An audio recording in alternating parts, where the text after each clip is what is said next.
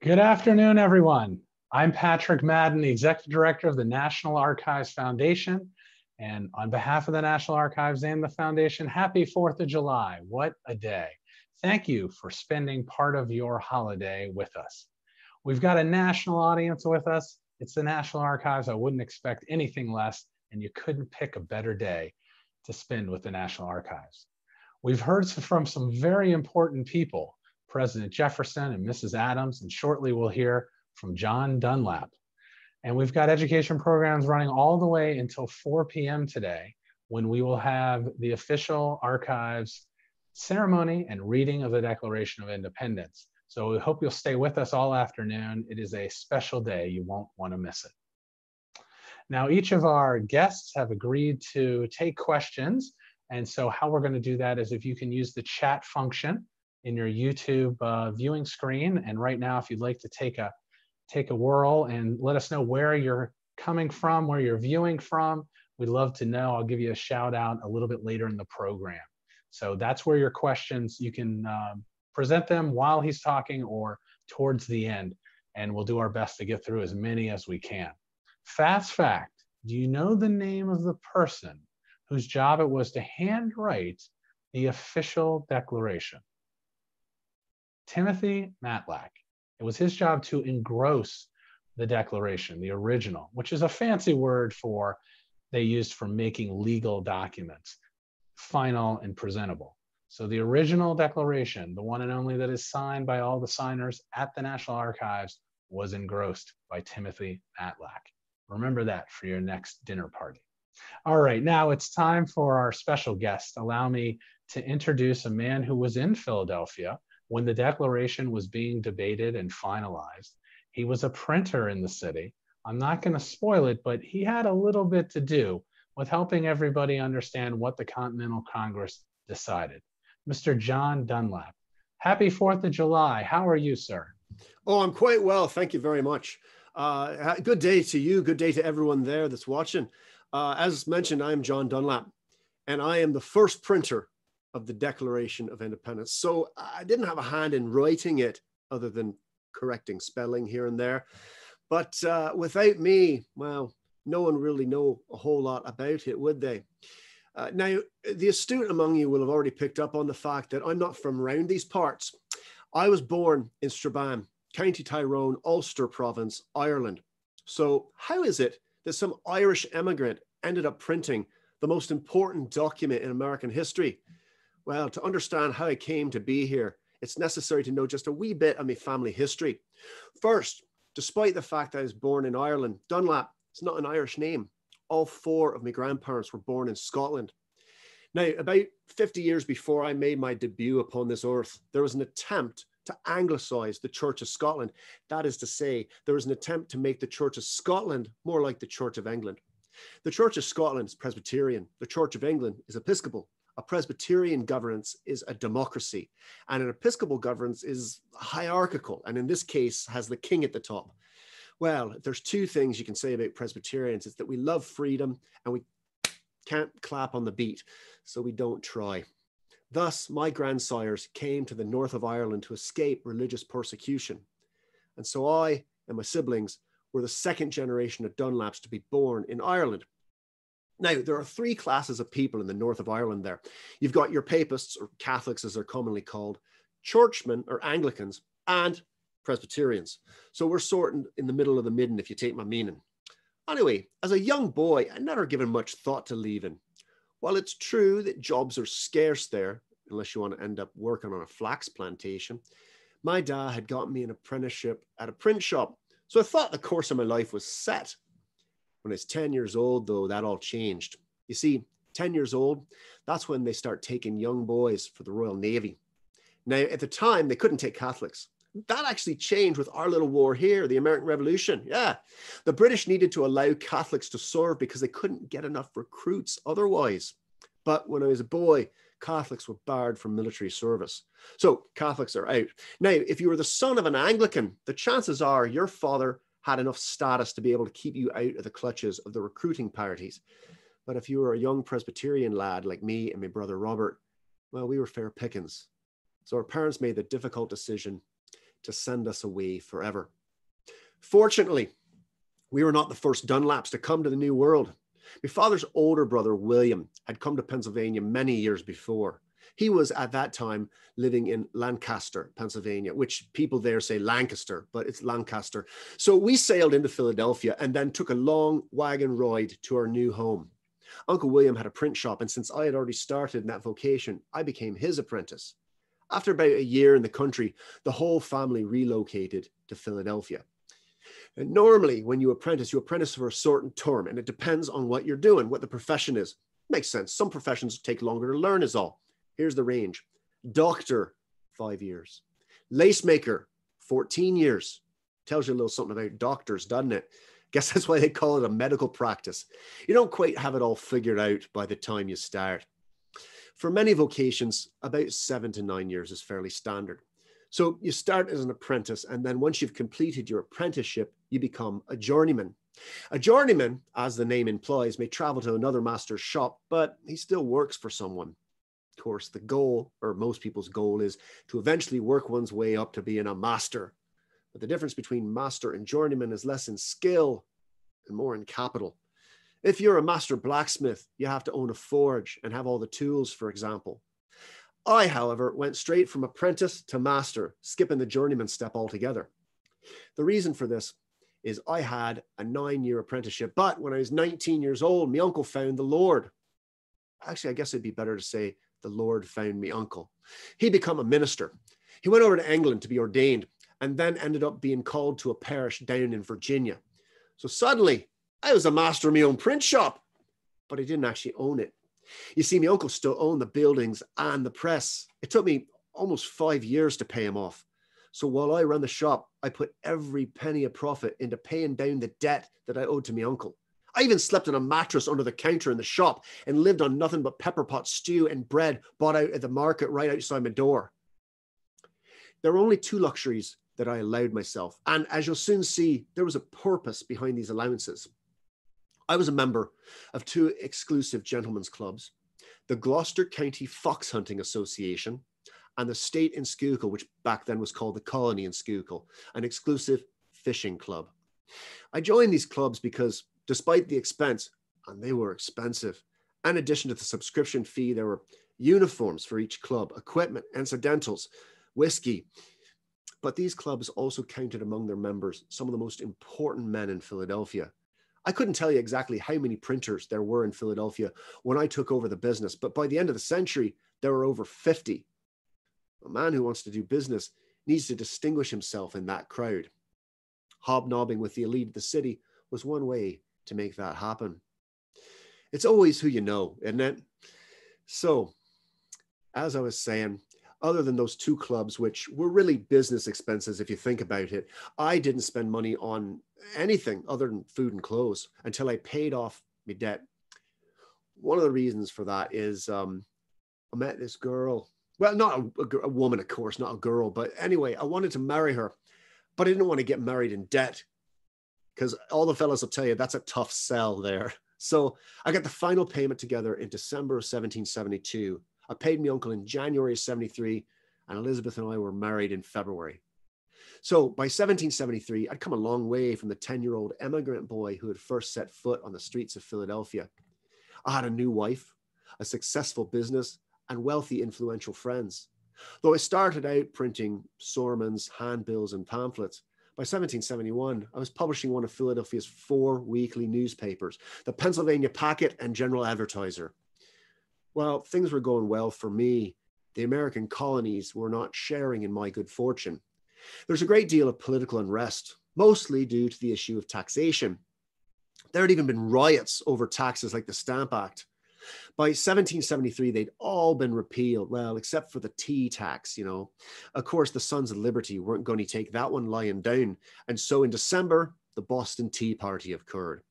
This led to the port of Boston being closed, Parliament passing a series of acts concerning uh, trial of government officials, the quartering of troops, and so on. These troubles with the mother country led to the meeting of the First Continental Congress at Carpenter's Hall in Philadelphia. Being a staunch patriot, I had hoped to be named the official printer to the Congress because, of course, I supported the American cause against the British. And also, you know, government contracts tend to be somewhat lucrative. Unfortunately, I was passed over at that time. Yet, I still wanted to do me part, for it felt as though something momentous was about to occur.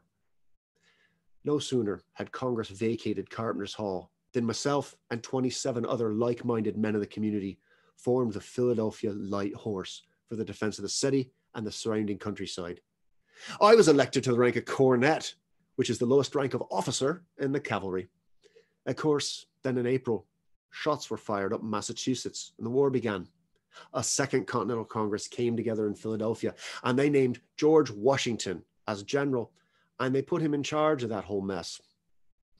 Since we were some of the only soldiers what were formed up already, and we were mounted, of course, we actually escorted His Excellency General Washington from Philadelphia on the first leg of his journey up towards Cambridge, Massachusetts, where he was sworn in as Commander in Chief. It was also around this time that my wife introduced me to her great uncle, who had lately returned from more than a decade in England. We ended up getting along quite well. It turns out he even had some experience in the printing trade. His name was Benjamin Franklin. So there it was, 1775. I'm a well established printer in the city of Philadelphia. I'm known by the city's finest gentlemen. I'm an officer in an elite company of militia.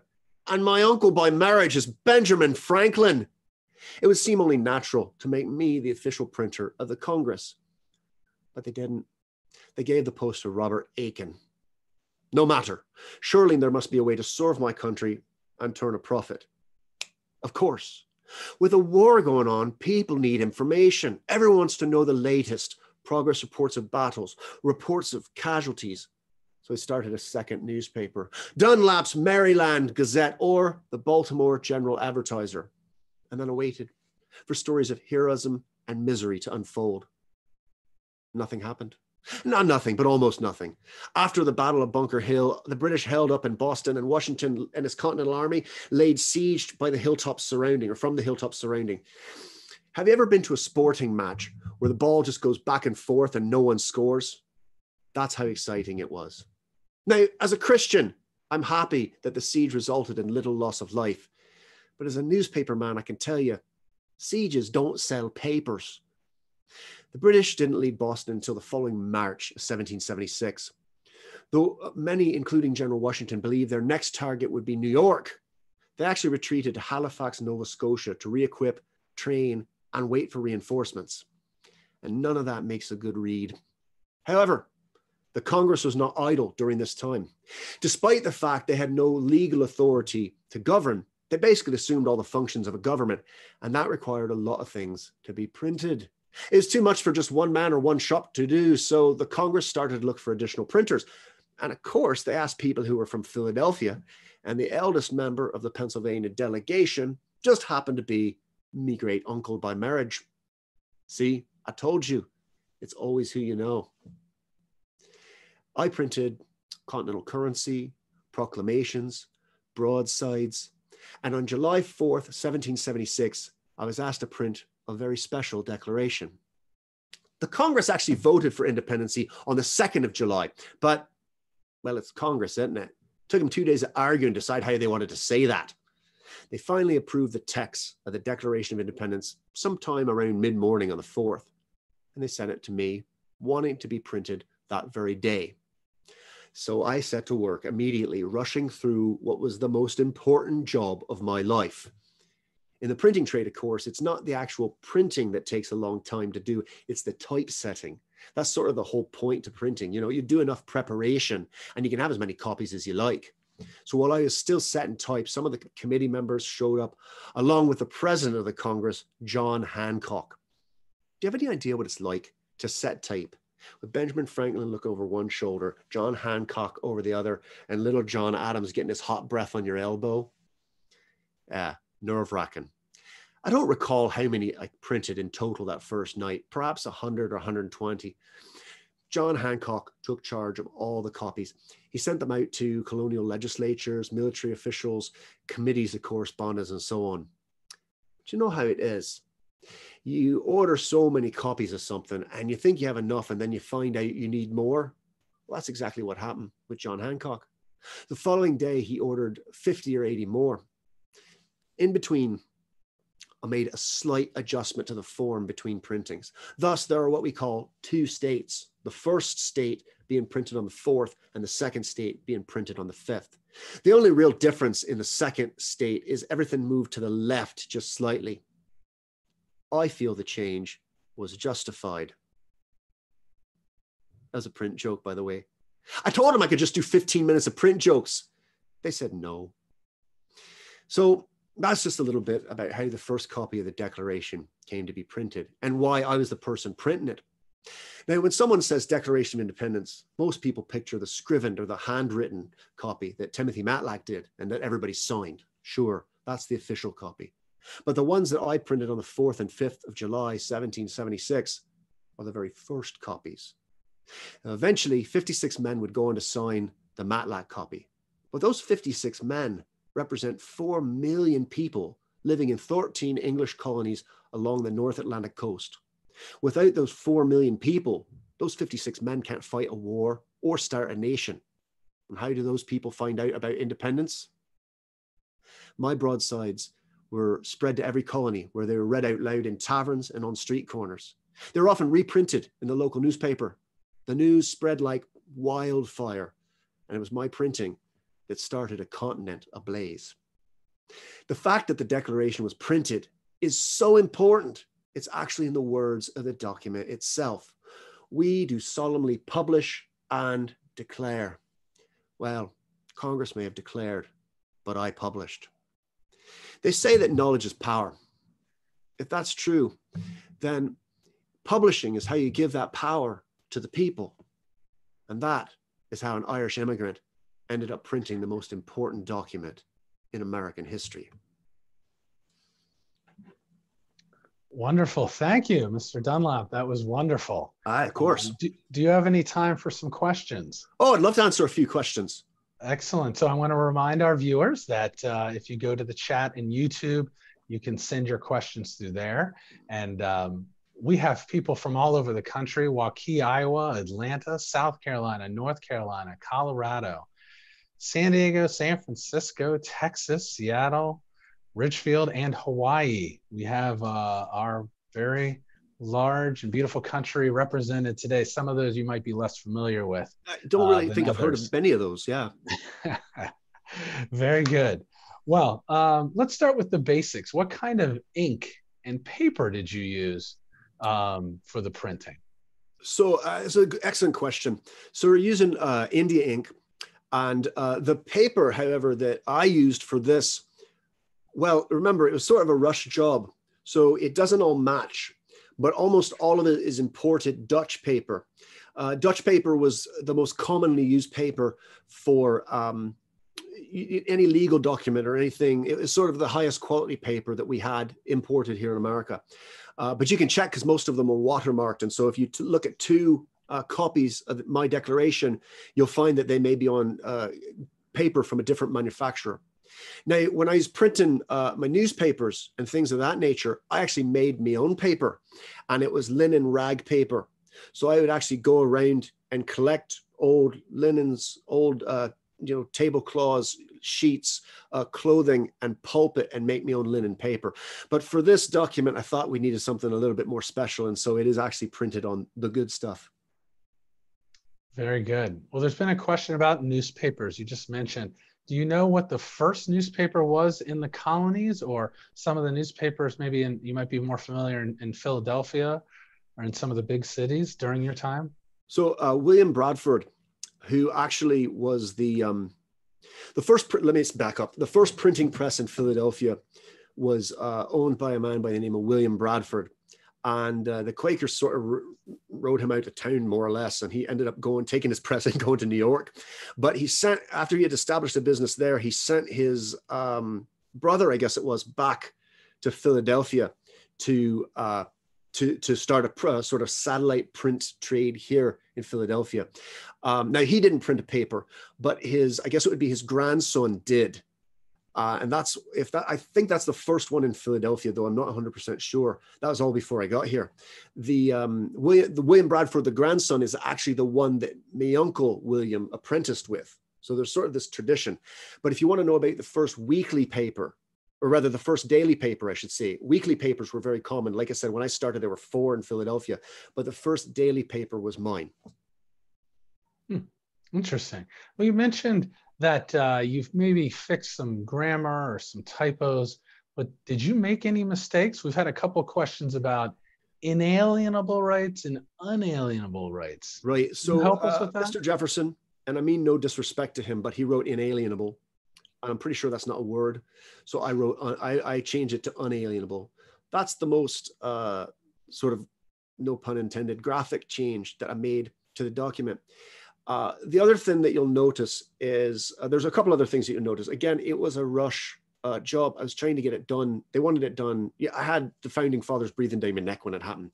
So what you'll find is the space in between words is not uniform.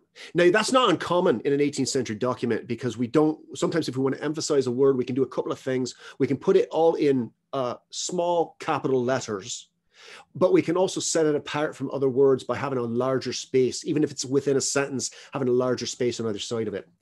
However, those spaces are exaggerated in the printing of the declaration. And the reason for that is if I made a mistake, rather than go back and correct the whole line, I would just move letters around and just if I had to take out letters, I would just take I would just add extra space between words as opposed to redoing the entire line because I was trying to get it out as fast as possible.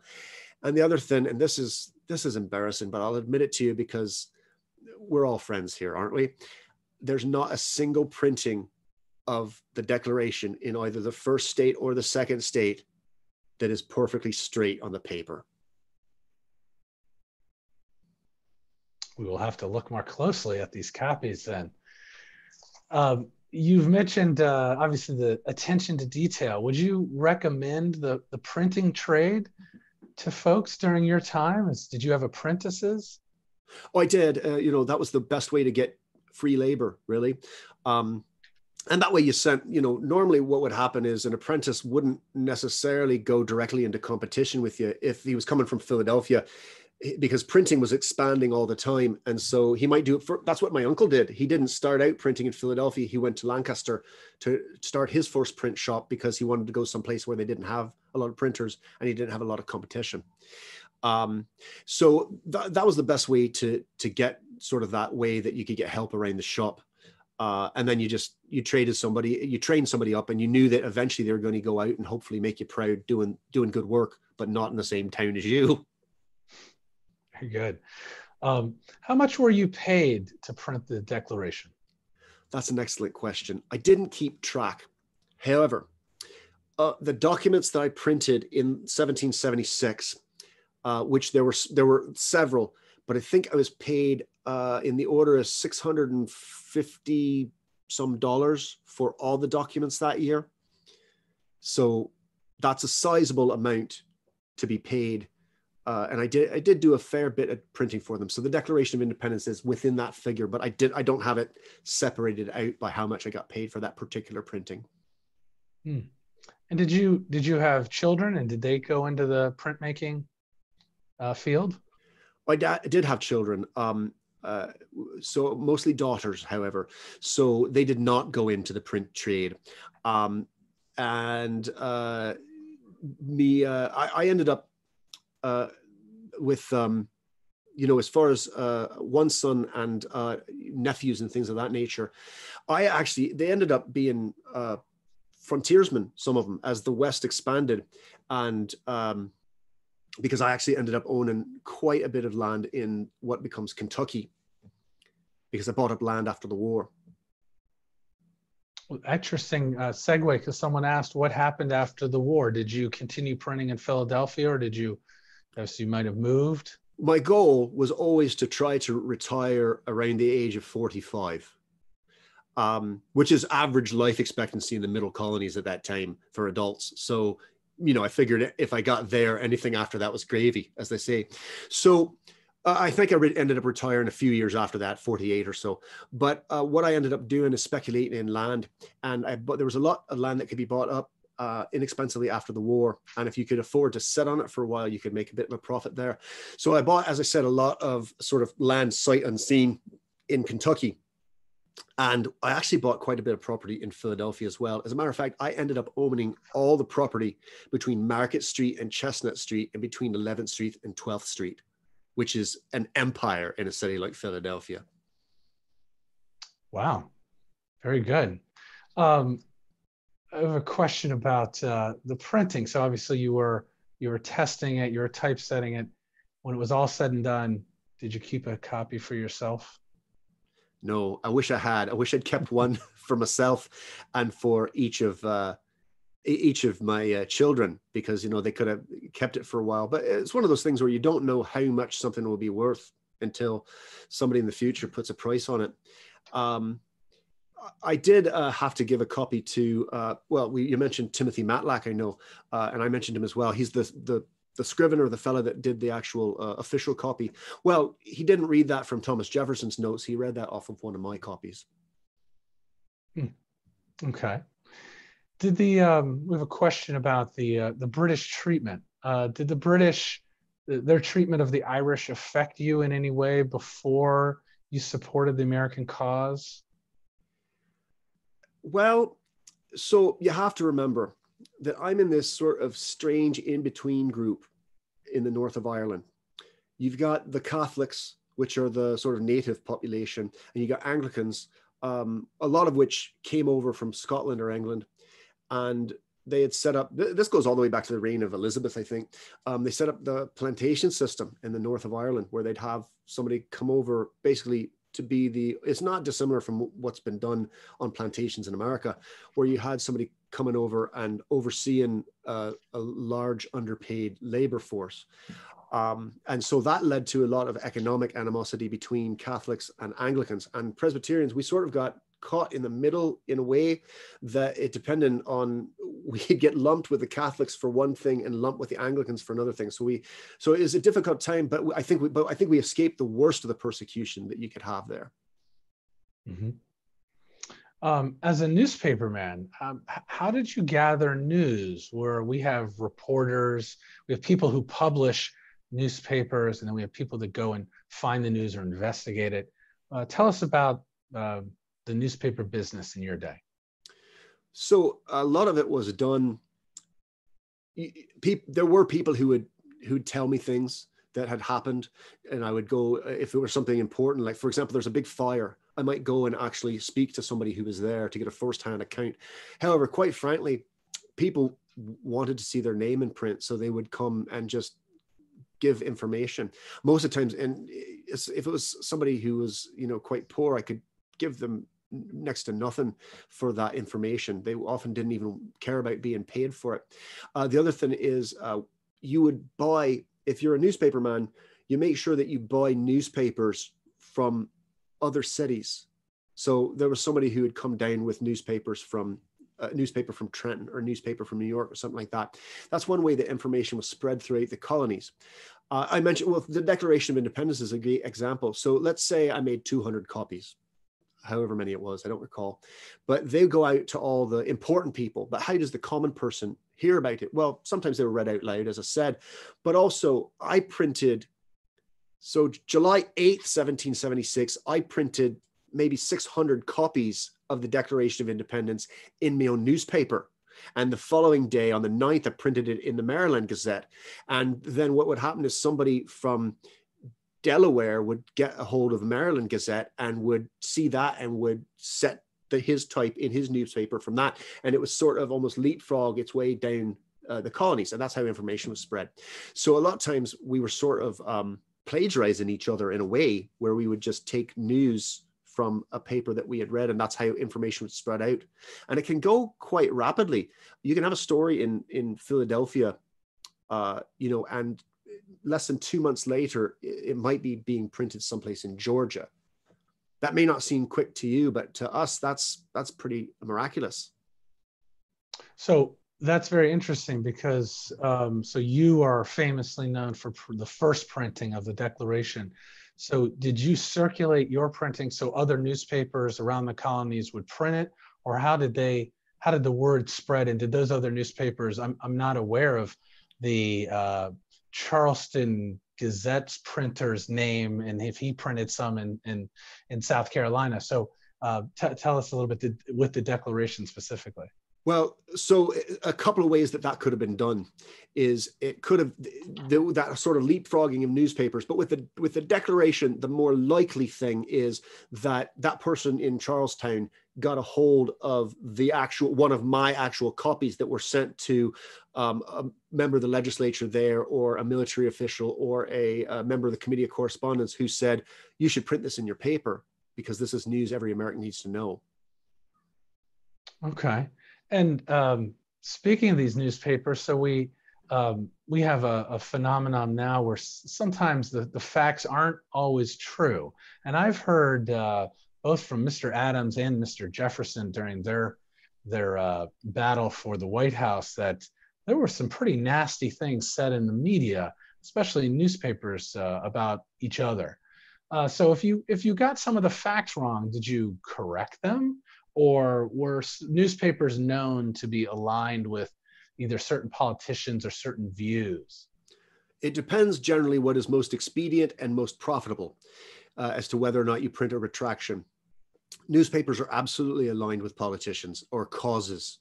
Um, as a matter of fact, uh, a competitor, well, actually, this is after I, I, I only had the Maryland newspaper for uh, a little over three years, but um, one of the newspapers that sprung up to after I had sold that concern, one of the newspapers that sprung up in um, competition with that particular paper was the Baltimore Whig Review, I think it's called. So that's that's a political newspaper uh, that is telling things from the perspective of the the American Whig Party.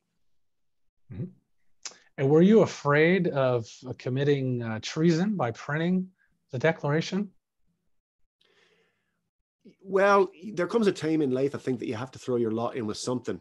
You have to remember by the by that point I had been in for about a year and a half. I had already been in a militia force that was there to defend Philadelphia against the British. So I had already thrown my hat into that ring, so to speak. And so I feel like uh, you know a man has to stand behind what he believes. Number one, and you know with some of these things you're also taking a gamble. If it's something you believe in and you could profit by it, then you know I wanted everyone to know that that declaration was printed by John Dunlap. When it made it down to Georgia, I wanted it to say printed Philadelphia printed by John Dunlap so that people knew where it came from. And yes, there was a danger in doing that, but there would have been a danger, I think, for me regardless. Very good. Well, we've come to the end of our time. This has been really wonderful um, and uh, to to use a printer saying, you've made an impression on generations. Oh, that's a good one. I'm putting that in my 15 minute print joke routine. There you go. Thank you for your time today.